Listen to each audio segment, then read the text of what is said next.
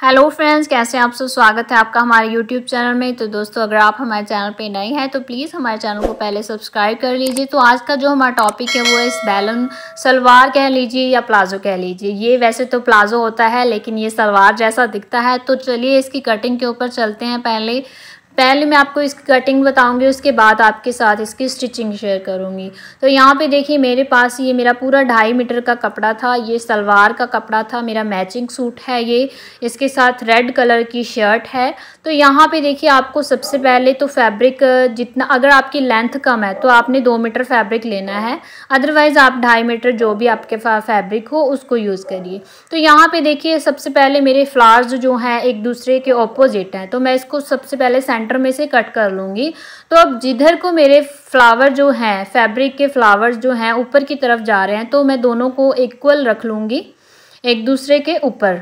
ठीक है फ्रेंड्स ये हमारे दोनों देखिए दोनों सीधी साइड वैसे तो अंदर की तरफ़ होती हैं, लेकिन जो डिज़ाइन हमारा ऊपर नीचे होता है तो उनमें से यहाँ पे हम इसको चेंज करते हैं सेंटर में से कट करके।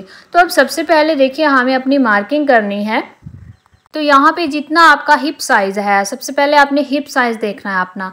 हिप साइज़ से आपने इसको तीन इंच एक्स्ट्रा लेना है।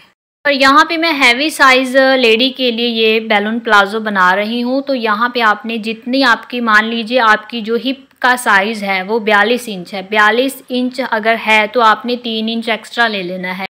ठीक है फ्रेंड्स तो इस तरह से इसको फोल्ड करना है। ये हमारे चार हिस्से हो गए। तो अब आपने देख लेना है कि आपका कपड़ा इक्वल है, अगर थोड़ा सा कम हो रहा है तो इसको और बढ़ा लीजिए यहाँ पे। मैं यहाँ पे जो इसकी फोल्डिंग ले रही हूँ, वो बयालीस इंच के हिसाब से ले रही हूँ। बयालीस इंच से मैंने तीन इंच एक्स्ट्रा फैब्रिक को अपने को फोल्ड कर लिया है। तो अब सबसे पहले हम क्या करते हैं, ऊपर से अपनी बेल्ट का, यानी कि नेफे का नाप लगाते हैं। तो जो कि मैं ढाई इंच पे लगाऊँगी। ये नाप आपने अपनी इलास्टिक के हिसाब से लगाना है। अगर एक इंच की डाल रहे हो तो दो इंच बहुत है और आधा इंच नीचे फोल्डिंग में जाएगा। तो यहाँ पे मैंने ढाई इंच पे निशान लगा लेना है। देखिए, इस फैब्रिक के ऊपर चौक कोई भी नहीं दिख रहा आपको तो मैं रेड कलर का यहाँ पे चौक यूज़ कर रही हूँ, जो मेरे पास पहले था, वो यहाँ पे नहीं दिख रहा। तो अब यहाँ पे से हमें लेंथ रखनी होती है। जितनी आपकी रेडी लेंथ है तो अपने हिसाब से रखिए। यहाँ पे जो मैं लेंथ ले रही हूँ, वो सैंतीस इंच ले रही हूँ। आप अपने लेंथ के अकॉर्डिंग यहाँ पे अपनी लेंथ रख लीजिए। तो देखिए, यहाँ पे सैंतीस इंच पे मैं मार्क लगाऊँगी एक। मैं यहाँ पे इसको पलट के दिखाती हूँ। आपको ये दिख नहीं रहा, देखिए। ये मेरा सैंतीस इंच नीचे लंबाई आ गई और ऊपर मैंने नेफे की मार्किंग की है। यहाँ पे हमें अपनी हिप साइज़ का चौथा भाग लेना होता है। चौथे भाग में से आपने दो से ढाई इंच एक्स्ट्रा अपने फैब्रिक को यहाँ पे निशान लगाना है अपने नेफे के लिए ऊपर। ठीक है, जहाँ पे हम इलास्टिक अटैच करते हैं। और अब इस निशान से हमें अपने आसन का निशान लगाना होता है, जो कि मैं सेम साढ़े बारह से आधा इंच मैं यहाँ पे ज़्यादा रखूँगी, तेरह इंच अपने आसन को रखूँगी यहाँ पे। तो देखिए, यहाँ भी मैंने सेम साढ़े बारह से यहाँ पे दो से ढाई इंच एक्स्ट्रा ले लेना है। ये मैंने पूरा पूरा फैब्रिक रखा था। क्योंकि हम एक साइड सिलाई वाला ये प्लाजो बना रहे हैं, वैसे तो मैं सिलाई लगाऊँगी इसमें, वो स्टिचिंग के वक्त बताऊँगी। तो यहाँ पे एक सीधी निशान इस तरह से लगाइए, ये बॉक्स बनेगा नीचे से। तो यहाँ पे हमें हल्की सी कर्व शेप देनी है। देखिए, ज़्यादा डूंगाई में अगर आप शेप देते हो अपने यहाँ से क्रॉच एरिए की तो आपका जो प्लाजो है बीच में से ही खिंचता रहता है। तो यहाँ पर देखिए, नीचे मोरी का निशान भी मैं सेम यहाँ पे तेरह इंच लगाऊँगी। अगर आप ज़्यादा लूज़ पहनते हो तो आप पूरा ही रख सकते हो। लेकिन मैं यहाँ पे इस तरह से यहाँ पे तेरह इंच का निशान लगाऊँगी। तो इस तरह से नीचे सिर्फ़ हमें ऐसे निशान लगा देना है, देखिए, बिना स्केल की हेल्प से। तो इस तरह से निशान लगा दीजिए। तो अब यहाँ पे देखिए नीचे मोहरी पट्टी का जो हम निशान लगाते हैं, मोहरी फोल्ड करने का, वो मैं यहाँ पे नहीं लगाऊँगी क्योंकि एक्स्ट्रा पट्टी मुझे यहाँ पे यूज़ करनी है। क्योंकि बैलून प्लाजो में हम हमेशा एक्स्ट्रा पट्टी लगाएँगे तभी हमारा परफेक्ट बनता है। तो देखिए इसी मार्किंग पे मैं सेम कटिंग कर दूँगी यहाँ पे, जहाँ जहाँ पे मैंने निशान लगाए थे। ये देखिए। और ये मेरी यहाँ पे देखिए कटिंग हो गई है। तो अब हम चलते हैं इसकी स्टिचिंग की तरफ़। तो ये आसान सी कटिंग थी। जैसे हम प्लाज़ो कट करते हैं तो अब हमें सबसे पहले अपने आसनों की सिलाई हो लगानी होती है। तो यहाँ पे मैं दोनों आसन खोल लूँगी अपने। तो दोनों आसन पे मैंने यहाँ पे आधा आधा इंच की स्टिच लगा देनी साइड से मैंने आसन की सिलाई लगानी है देखिए। जैसे हम नॉर्मल आसन में सिलाई लगाते हैं वैसे ही हमने सिलाई लगानी है। अच्छे से आपने इस सिलाई को डबल कर लेना है। मैं आपको सिंगल सिंगल लगा के दिखा रही हूँ। आपने अपनी सिलाई को अच्छे से डबल कर लेना है, ठीक है फ्रेंड्स तो दूसरी साइड भी मैं इसी तरह से सिलाई लगा लूँगी अपने आसन में और इन सिलाइयों को यहाँ पे डबल कर लूँगी। ये देखिए फ्रेंड्स आसन की सिलाइयाँ हमारी हो चुकी हैं और मैंने डबल सिलाइयाँ कर ली हैं। तो देखिए, अब हमें क्या करना है? इन दोनों आसन को मैंने यहाँ पे ज्वाइंट करना है। ज्वाइंट नहीं मतलब कि दोनों आसन को ना मिला के रख लेना है हमने। देखिए, पीछे वाला भी और आगे वाला भी। इन दोनों आसन को हमने यहाँ सेंटर में से पकड़ते हुए मिलाना है दोनों आसन को। तो यहाँ पे देखिए, इस तरह से रखना है, क्योंकि आगे वाले हिस्से में जो हमारा आगे हम पहनते हैं, इस पर मैंने डेढ़ इंच के एक मार्क लगाना है और डेढ़ इंच की काट मैंने डालनी है। तो अब देखिए, इस तरह से आपने तिरछा इंची टेप रखना है। यहाँ पे डेढ़ इंच का निशान लगाते हुए इस तरह से इंच टेप को रखिए और यहाँ पे तिरछा निशान लगा के अपना यहाँ पे फैब्रिक को कट कर दीजिए। तो कटिंग करने का देखिए एक मतलब होता है यहाँ पे कि जो हमारा आगे वाला आसन होता है, उसमें अब अगर हम डेढ़ इंच डाउन करके यहाँ पे कटिंग करते हैं तो हमें बैठने उठने में कोई तकलीफ़ नहीं होती, खासकर जो हैवी साइज़ के लोग होते हैं, उनका प्लाज़ो का आसन की तरफ़ से अंदर की तरफ़ नहीं खींचता। तो ये हमारा आगे का आसन है, ये पीछे का। नीचे देखिए, अपने इसको फैब्रिक को इस तरह से एक सार कर लेना है। अब हमें साइड की सिलाई लगानी है सबसे पहले। और यहाँ पे फैब्रिक को एक सार करते हुए यहाँ पे ऊपर भी कट लगाना है, नीचे भी और दोनों कट को मिला के आपने पकड़ के सिलाई लगानी है अच्छे से। वैसे तो अगर आप ऐसे ही बनाना चाहते हो तो ऐसे ही बना लो बट मैं यहाँ पे एक गुम सिलाई लगाऊँगी जो कि मैं एक इंच के सॉरी एक पैर के हिसाब से लगाऊँगी। एक पैर के हिसाब से मुझे यहाँ पे सिलाई लगानी है। ये देखिए। नीचे तक मैं ये सिलाई लगा लूँगी और दूसरी साइड भी मैं सेम ऐसे ही सिलाई लगा के आपको दिखाती हूँ। ये देखिए दोस्तों, हमारी दोनों साइड की सिलाइयाँ ये साइड वाली हो चुकी हैं। ये साइड की सिलाइयाँ हैं हमारी।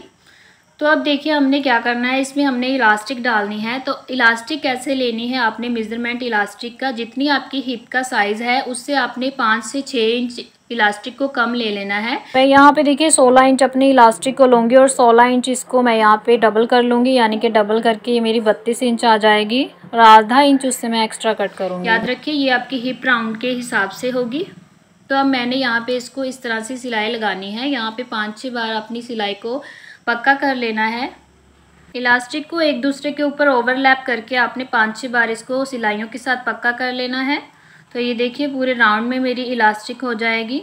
तो अब हमें क्या करना है? देखिए नॉर्मली बिगनर्स के लिए बता रही हूँ, यहाँ पे आधा इंच को जो हमने फालतू कपड़ा रखा था, उसके ऊपर मैं एक राफ स्टिच लगाऊँगी बड़े बखे के साथ। ये देखिए, ये हमारी राफ स्टिच होगी। और फ्रेंड्स आप हमें इंस्टाग्राम पेज पे भी फॉलो कर सकते हो। वहाँ पर भी मैं अपने डिज़ाइंस की अच्छी अच्छी पिक्स और वीडियोस डालती रहती हूँ। तो ये मेरी पूरी ऊपर की सिलाई को मैंने यहाँ पे लगा लिया है, आधा इंच अंदर की तरफ़ फोल्डिंग करके। तो अब हमें यहाँ पे देखिए, इस तरह से अपनी इलास्टिक को रखना है। और ये सिलाई हमने अपनी फिनिशिंग वाली लगानी है छोटे बखे के साथ। यहाँ पे आप सिलाई को शुरू कीजिएगा। याद रखिए, आपकी सिलाई जो है इलास्टिक के ऊपर नहीं चढ़नी चाहिए। बिल्कुल फैब्रिक के ऊपर ही सिलाई आपकी लगनी चाहिए। तो इस तरह से हमने अपनी सिलाई को अटैच करना है, लगाना है।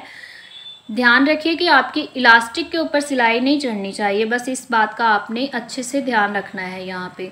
और मैंने एक और वीडियो अपने चैनल पे डाली हुई है कि इलास्टिक हमने किस हिसाब से लेनी है, प्लाज़ो की मेज़रमेंट से, और कैसे डालनी है। प्रॉपर तरीका मैंने सही और स्लो वीडियो बनाई हुई है उसके ऊपर। उसका लिंक मैं ऊपर आई बटन और नीचे डिस्क्रिप्शन बॉक्स में दे दूँगी, आप वहाँ से चेक कर सकते हो।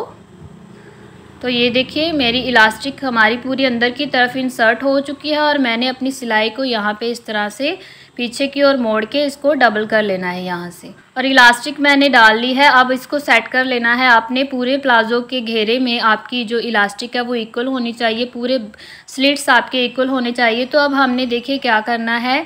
उसी खिंचाव से आगे से कपड़ा पकड़ना है, उसी खिंचाव से पीछे से कपड़ा पकड़ना है। दोनों तरफ़ से देखिए, थोड़ा सा बड़ा बखा कर लीजिए, थोड़ा सा ज़्यादा नहीं तो दोनों तरफ़ से इक्वल पकड़ना है और आपने अपनी स्टिच को लगाना है। और पूरी फिनिशिंग के साथ लगाइए। इसमें मैं दो सिलाइयाँ लगा रही हूँ, आप अपने प्लाज़ो की इलास्टिक में एक सिलाई भी लगा सकते हो। तो ऊपर वाली हो गई तो यहाँ से आधा इंच नीचे को आते हुए मैंने दूसरी सिलाई लगा लेनी है। तो ये देखिए फ्रेंड्स दोनों सिलाइयाँ मेरी हो चुकी हैं कंप्लीट और इस तरह से कुछ इसका इंटरफेस आया है। तो अब हम चलते हैं नीचे की साइड तो ये हमारा जो है मोहरी, हमने किस तरह से रेडी करनी है? तो अब यहाँ पे आधा इंच के ऊपर हमने बड़े बखे के साथ हमने छोटी छोटी प्लेट्स डालनी है अपनी प्लाज़ो में। ये देखिए, बिल्कुल आधा इंच की ये प्लेट होनी चाहिए आपकी। आप इस मोहरी को 16 इंच भी ले सकते हो 14 इंच भी ले सकते हो बट मैंने यहाँ पे 13 इंच अपनी मोहरी ली है। 13 इंच को यानी कि 26 इंच ये टोटल है 13 इंच इसका एक हिस्सा था। तो अब यहाँ पे जितना हिस्सा मैंने पीछे छोड़ा है, उतना ही आगे की तरफ़ मैं छोड़ूँगी। तो इस तरह से दूसरी साइड भी मैं ऐसे ही प्लेट्स डालूँगी। ठीक है फ्रेंड्स इसी तरह से मैंने प्लेट्स डालनी है जितनी आपकी प्लाजो की मोहरी है उससे एक से डेढ़ इंच आपने एक्स्ट्रा रख लेना है यहाँ पे। जो मेरी मोहरी की सिलाई है वो यहाँ पे साढ़े छः इंच लगेगी और एक इंच मैंने एक्स्ट्रा रखा है इसको। तो यहाँ पे एक मैंने फैब्रिक पट्टी ली है सेम इसी के मैचिंग की जो इसकी चौड़ाई है वो ढाई इंच है। और लंबाई में मैंने इसको पूरा चौदह से साढ़े चौदह इंच रखा है। बाद में मैं एक्स्ट्रा फैब्रिक कट कर दूँगी। तो ये यहाँ से नीचे से सीधी पट्टी आपने रखनी है और सीधे ही आपने अपने प्लाज़ो को रखना है। तो जि, जैसे आपने ऊपर सिलाई लगाई थी, उसी सिलाई के ऊपर आपने नीचे फैब्रिक पट्टी पे सिलाई लगानी है यहाँ पे। ये देखिए, ये पूरा प्रोसेस आपने धीरे धीरे करना है, कोई भी इसमें गलती नहीं करनी इसको करते हुए। ये देखिए फ्रेंड्स, ये मेरी सिलाई लग चुकी है। तो अब मैंने ये देखिए इसको ऐसे फ़ोल्ड करके एक बार इसके ऊपर इस तरह से फ़ोल्ड कर देना है, जो कि मेरी ये पट्टी इसके ऊपर अच्छी तरह से गुम हो जाए। जो नीचे की सिलाई है आपकी वो नहीं दिखनी चाहिए और प्लेट्स पूरी तरह से नीचे गुम हो जानी चाहिए। ये देखिए फ्रेंड्स, ये सीधा हिस्सा ही आ जाएगा अगर सीधे हिस्से से पट्टी रखोगे तो। अगर उल्टी साइड से रखी तो ऊपर की तरफ़ आपका रॉन्ग साइड आ जाएगा। तो ये देखिए फ्रेंड्स, ये मेरी मोहरी रेडी हो चुकी है तो अब मैंने एक लैस का यूज़ करना है इसके ऊपर। आप लैस स्किप भी कर सकते हो, अगर आपके पास नहीं है। मेरे पास यहाँ इसकी मैचिंग की लैस पड़ी थी तो मैं यहाँ पे नीचे इसको लैस को रखते हुए देखिए, या तो ऊपर रख के ही सिलाई लगा लीजिए, या फिर नीचे रख के सिलाई लगा लीजिए एज़ यू विश वो आपकी मर्ज़ी है। तो मैंने यहाँ पर नीचे की तरफ़ इस लैस को अटैच कर देना है अच्छे से। तो दूसरी साइड भी मैं इसी तरह से रेडी कर लूँगी अपनी दूसरी मोहरी जो है मेरी। ये देखिए, बहुत ही आसान प्रोसेस है। काफ़ी ज़्यादा टाइम भी वेस्ट नहीं होगा आपका और बहुत ही खूबसूरत प्लाज़ो बैलून प्लाज़ो आपके पास बन के आएगा। तो मैंने लैस अटैच कर लिया। देखिए, कितनी फिनिशिंग से लगी है। तो अब मैंने दूसरी साइड भी अपनी इसी तरह से मोरी को रेडी कर लेना है। तो अब मैंने जितनी मुझे मोरी चाहिए थी, उसी हिसाब से मैं यहाँ पे एक निशान लगाऊँगी, जो कि मैं साढ़े छः इंच पे लगाऊँगी इस तरह से। तो यहीं से सिलाई को लगाते हुए मैं दूसरी तरफ़ जाऊँगी। ये देखिए, ऐसे फोल्ड करते हुए यहाँ पे अपनी सिलाई को पक्का करना है आपने, ताकि आपकी सिलाई उधर ना जाए। तो ये देखिए, आसन के ऊपर से सिलाई को घुमाते हुए एक साइड ऊपर की तरफ़, एक साइड नीचे की तरफ़ कर लेनी है आसन की। तो यहाँ पे मैं निकाल के दिखाऊँगी। तो दूसरी साइड से अब मैं सिलाई लगाना शुरू करूँगी। ऐसे तो आप एक साइड से शुरू करके दूसरी साइड ख़त्म कर सकते हो, लेकिन बिगनर्स को कई बार प्रॉब्लम होती है कटिंग में तो उनका इधर उधर हो जाता है फैब्रिक तो मैं इसी तरह से दूसरी तरफ़ सिलाई लगाऊँगी, दूसरी तरफ़ से। ये देखिए, ये हमारी पूरी प्रॉपर सिलाई आई है, क्योंकि हमारी कटिंग में कुछ भी ख़राबी नहीं थी तो ये देखिए कुछ इस तरह से इसका इंटरफेस आएगा और पूरा मेरे पास बैलून प्लाजो बन के बिल्कुल रेडी है। तो ये देखिए कितनी फिनिशिंग से बना है। कुछ भी समझ में ना आए तो आप हमें कमेंट बॉक्स में कमेंट करके पूछ सकते हो। तो बहुत ही ब्यूटीफुल तरीके से, बहुत ही आसान तरीके से हमने इसको बनाया है।